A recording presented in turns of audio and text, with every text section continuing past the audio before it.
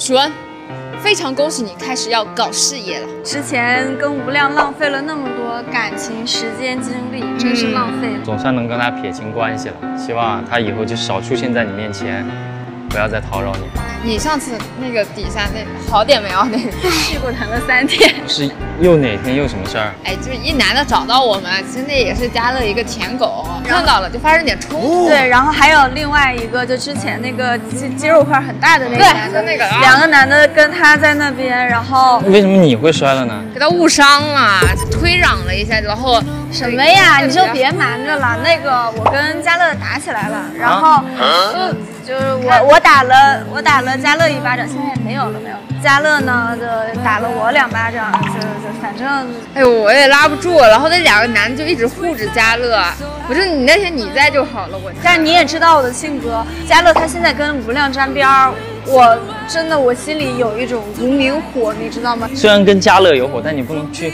伤害到你自己，你知道吗？哇罗一凡真好，他现在不是还跟吴亮在一起吗？好像又没有。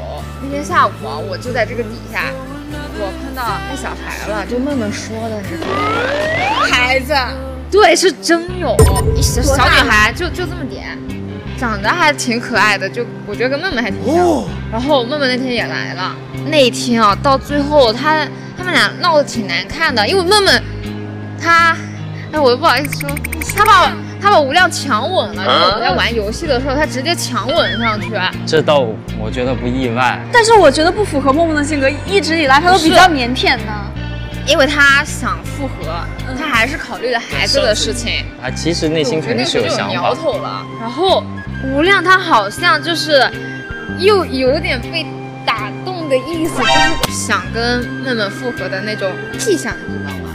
本来还在那吵的，突然就抱一起，抱一起，然后就说逛超市了，就跟我们拜拜，然后我们就懵了，然后就没然后了，也不太清楚后面到底怎么样。幸亏是你从这件事儿出来。我太难了。那我有一个问题想问一下你啊，就是，哎，不好意思说，哎，你有没有考虑跟罗一凡在一起？啊，我不着急，我现在已经是他经纪人了，所以不着急。然后最近工作也比较忙嘛，就因为现在刚开始拍戏，然后有很多东西我也不太懂嘛，然后他会帮我呀，教我一些东西啊，所以既然来了节目，那得玩游戏啊。那那个，哎，OK，请你们两个打开暖聊的这个家族群，可以抽取一个游戏，我们玩一下嘛，好不好？来吧，停了。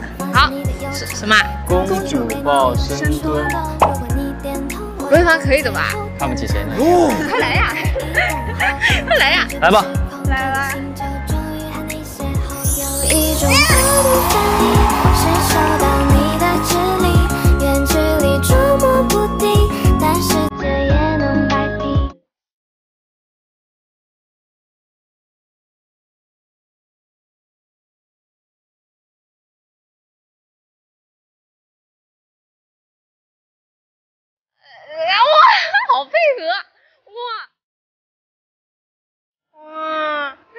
感觉真好。